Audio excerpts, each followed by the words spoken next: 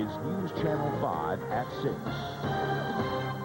Teachers in one bi-state school district launch an informal picket to rally for better salaries and avoid a strike. Money problems totaling in the millions in St. Charles could stop the construction of several projects. I sent my son to this camp because of their leadership program and to basically build up his self-esteem. But what this mother claims built nothing except fear, distrust, and a lifetime of emotional scars. Good evening, everyone. Our top story, a lawsuit filed this week in federal court alleges a brutal incident of abuse and neglect at Sherwood Forest Camp in southern Missouri. The suit alleges three campers sodomized another camper. Now the victim's mother is suing the camp. As News Channel 5's Lisa Zigman reports, the victim's mother agreed to talk with us today, but we have concealed her identity to protect her son. The alleged incident took place in July of 98 at Sherwood Forest Campsite in Lesterville, about 120 miles south of St. Louis. It is a camp for local underprivileged children funded by the United Way. Three of the boys uh, jumped him, uh, attacked him, and assaulted him with a broomstick. Something happened between four boys. Exactly what occurred between those four boys, we're not sure. The suit alleges neglect and that children were left unattended for long periods of time. Charges vehemently denied, but the camp's executive director says... There are times when kids get angry with each other and can gang up on each other in a big hurry. And that can happen in a 10-second period. Uh, that would happen anywhere, whether it's at school or Sunday school or on the playground or where have you. The victim's mother also questions the amount of time that passed before her son received treatment and before she was notified. The incident happened around 12 o'clock. They notified me like 3.55. Four hours? Four hours after this happened to my son.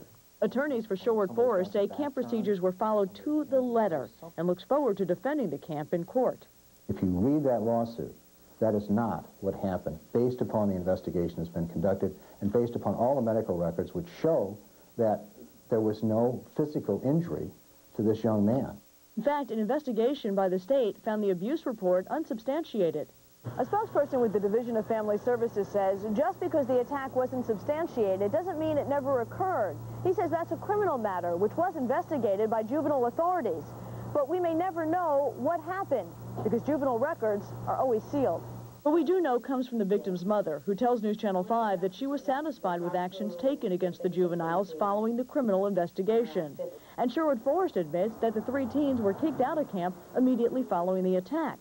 Now the victim's mother wants the camp to pay for ongoing medical expenses and the family's emotional trauma. Lisa Zigman, News Channel 5. Attorneys for Sherwood Forest say the victim's family has tried to negotiate a financial settlement for more than a year now, but that Sherwood Forest has no intention of settling because they contend there was never any neglect. Police don't have a definite cause, but they say a woman found dead this morning in South St. Louis was a homicide victim. A maintenance man at the Carondelet Apartments found the body of the 29-year-old woman after neighbors complained of a foul odor. The woman had been apparently dead for days. Investigators say they have not released the victim's name. There is new information tonight about a body found earlier this week in Franklin County. Investigators have identified the body as 21-year-old Shane Lashley of Robertsville. According to sheriff's deputies, he was shot to death near Frost Road in Lonedell. The death is still under investigation. So far, there is no motive and no suspects have been arrested. Reverend Jesse Jackson visited Godfrey, Illinois today and urged workers not to cross the picket line at Beverly Farm. Jackson offered to help negotiate an end to the seven-week-old strike at the facility for the disabled. News Channel 5's Tom Atwood joins us now live from our Illinois Bureau with the very latest. Tom? Deanne, Jesse Jackson never got a chance to negotiate today because Beverly Farm Director Monty Welker was out of town and couldn't meet with him. So what Jackson did instead was to energize striking workers at a rally just outside the Beverly Farm facility. Workers are on strike for better wages, and they also want management to recognize the union they voted to join five years ago. Today, Jackson aimed his remarks at union workers that have decided to cross the picket line and not take part in the strike. You cannot admire Martin Luther King and walk across that picket line. You cannot admire Mandela and walk across that picket line. Today, you must take dignity over dollars. Take dignity over dollars. Take dignity over dollars. Union leaders say 150 workers are on strike, but officials at Beverly Farm say the number is much lower than that. They say three-fourths of the workers are still on the job and ignoring the strike. In the meantime, Jesse Jackson says he will come back to negotiate if he's needed. Deanne, back to you. Okay, thank you, Tom. A strike could be on the horizon for a small school district in Lebanon, Illinois. Uh, this morning, more than 800 students were greeted by teachers with informational pickets on their first day of school. The teachers in the District 9 want higher salaries and a new contract from the school board. As News Channel 5's Kelly Jackson reports, a strike would be a last resort. It is the first day of school for students in Lebanon District 9.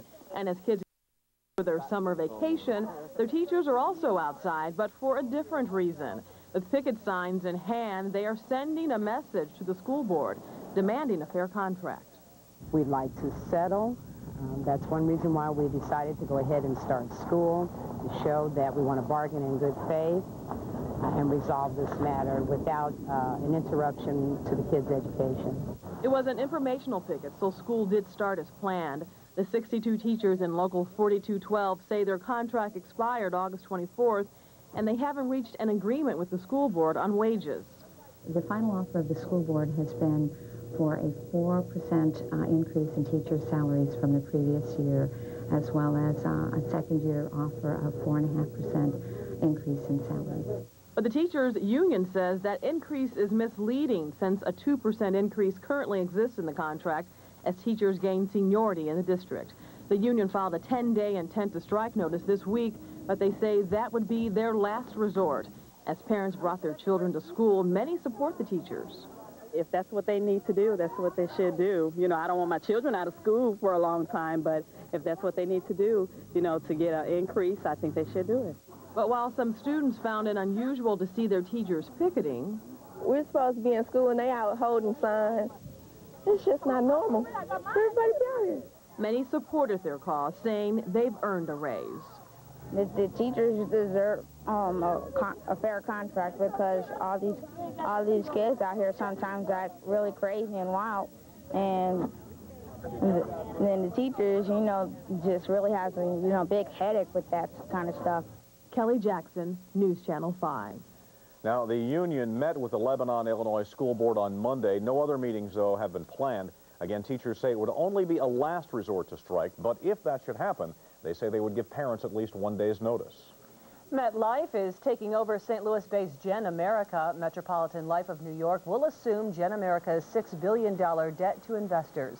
Banks and mutual funds pulled their money out of Gen America's subsidiary, General American Life, after that company's bond rating fell earlier this month.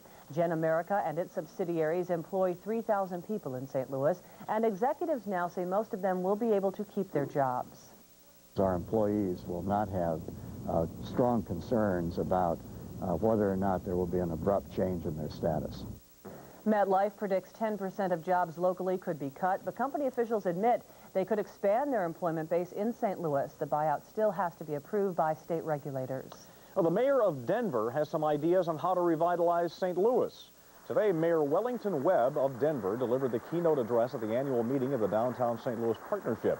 During Webb's time in office, Denver has added 3,000 new housing units, a new Major League ballpark, 50 vacant buildings in the city have been restored, and office occupancy exceeds 90%.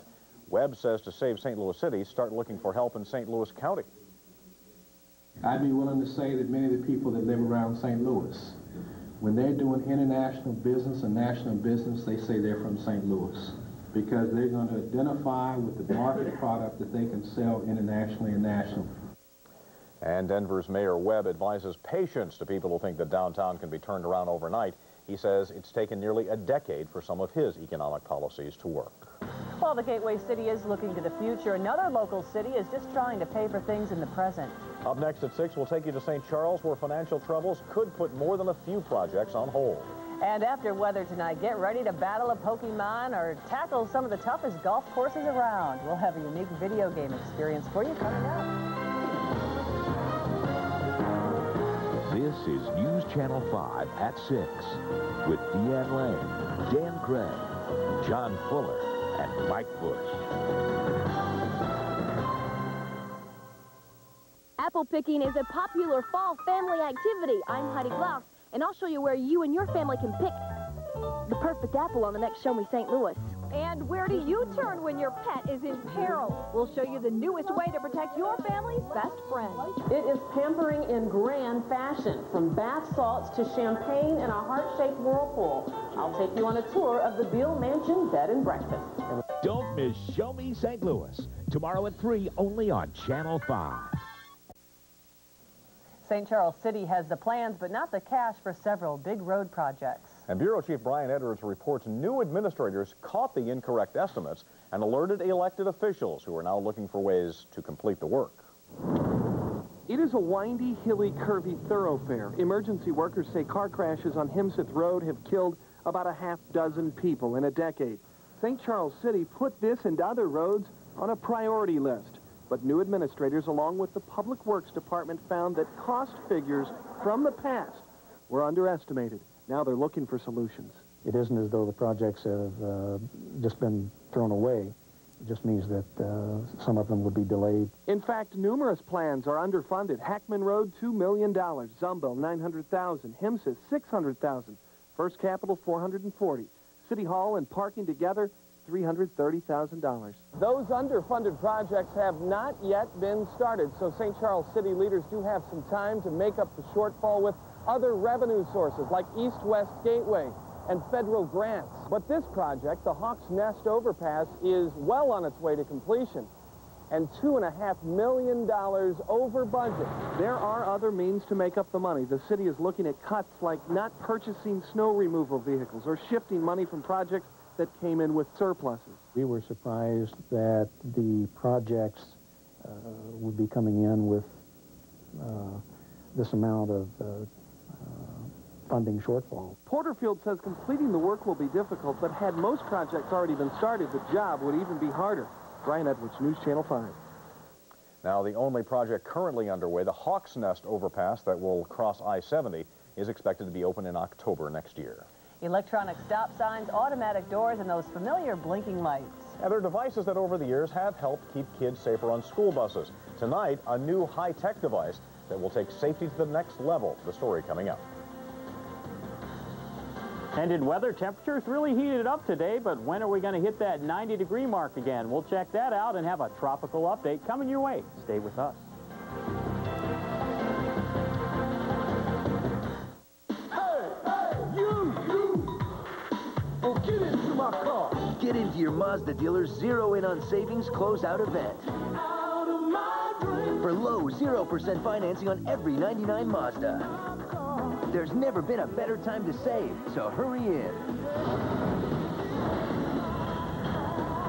Take advantage of 0% financing on every 99 Mazda, or choose up to 3000 cash back during Mazda's Zero In on Savings Closeout event. Know, moms like this often wonder, what helps kids build strong bodies? Well, they could lift 300 pounds a day or wear this absurd costume. He's not fooling anyone. Or you can give them Wonder Bread with peanut butter like my mom gave me. Wonder has the vitamins, vitamins, onions, It's soft and delicious, too. So do what I do. Remember the Wonder. Oh, medic. This week's Volunteer 5 organization is Mosaics. They're looking for dozens of volunteers to help at this year's Missouri Festival for the Arts in St. Charles. Volunteers are needed to do everything from helping visitors create to working at the food and information booths. Keep these guys busy. Give them a call right now, 969-VOL5. It only happens once in a lifetime. It's New York Carpet World's giant 73rd birthday sale. Save up to 50% off carpet, 25% off pad, plus 25% off labor. Save on floors, laminate, vinyl, wood, ceramic, area rugs too. Plus buy with no payments, no interest for one year. Save up to 50% off carpet, 25% off Encore One pad, 25% off labor. Through Saturday, it's New York Carpet World's 73rd birthday sale. Savings so big, they only happen once. Don't miss it. It's about summer and driving down. One local school bus company wants to make sure no students are left behind during the school day. So Laidlaw Transit showed off their new alarm system today. The small children and are left behind when the bus is parked. So this system makes sure the driver walks back to make sure the children have actually left. The driver must reset a security box at the back of the bus. If he doesn't, the vehicle's horn will sound, just like that. Laidlaw transports about 20,000 children a day to St. Louis City schools. Another precaution to make Mm-hmm. sure everybody's safe this Not a- school year. Not a bad idea. Meteorologist John Fuller joining us now. The evenings in St. Louis have been quite pleasant this week, you know? Turn Yeah, off they- the AC. Yeah, you can turn off the air conditioners late at night into the early morning hours. Temperatures cooling back into the 60s thanks to the jet stream, and that jet stream is going to help out the East Coast over the weekend, trying to keep Dennis away from the coastline. But this morning brought us a low of 65 degrees, Kansas City 66. Still quite warm in Dallas. Their morning low was 80 degrees. And notice how this jet stream shoots to the north and east. We have Cindy. It's the most powerful hurricane right now, but Dennis is the closest. And with the help of the jet stream, it looks like it's going to do a little loop and just skim the Atlantic seaboard states around the Carolinas. That is preliminary, and that is a projected path. And you can see all three of them.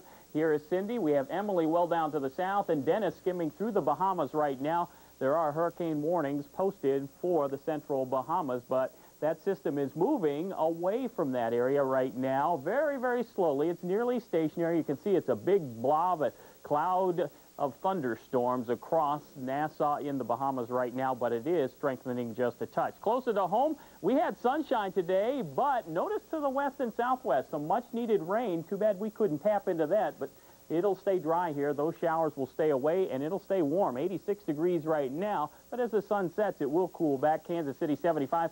Big-time heat continues over the central and southern plains. 102 in Oklahoma City, 104 in Dallas. A little closer to home, temperatures are in the upper 80s from Belleville at 88, Alton at 84 degrees, and Chesterfield at 86.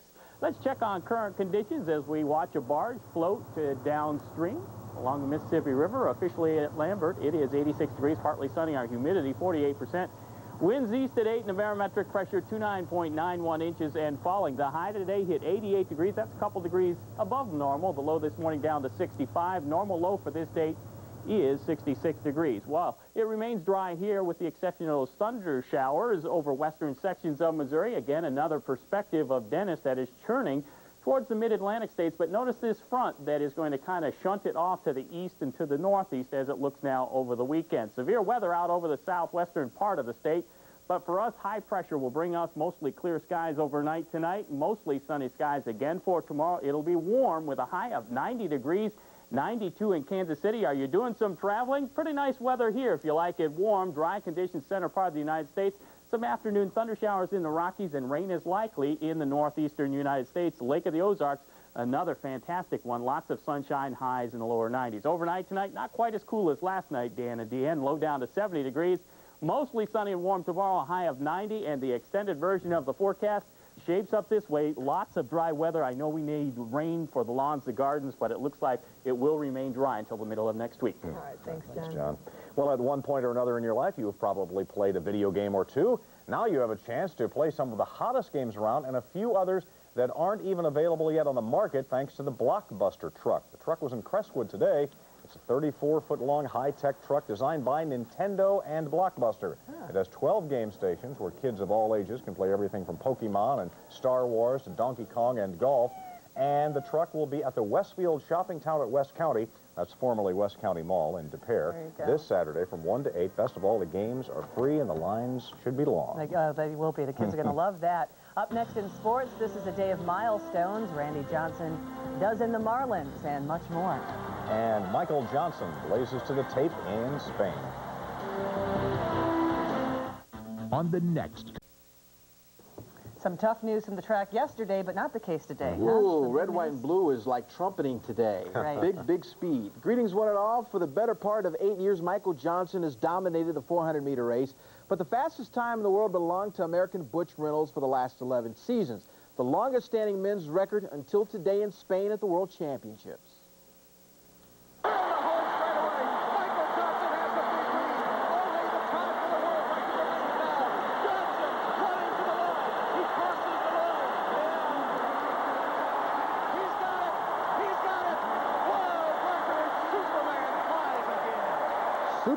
a.k.a. Johnson, turned in a time of 43.18 seconds. That's a full tenth of a second faster than Reynolds.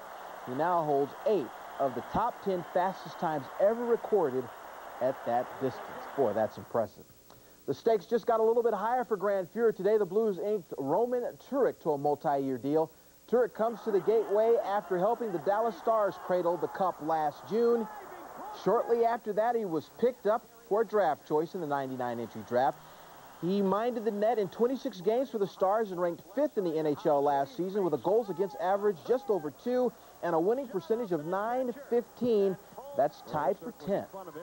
That's not too bad. For a team that's lost three straight games and has slipped to two games under 500, this is horrible news. The Atlanta Braves are coming to town. They only sport the best record in the bigs and work a seven-game winning streak. When they go on Friday, it'll be Garrett Stephenson against Terry Mulholland. Last night in Montreal, the Expos completed the three-game sweep of the Birds.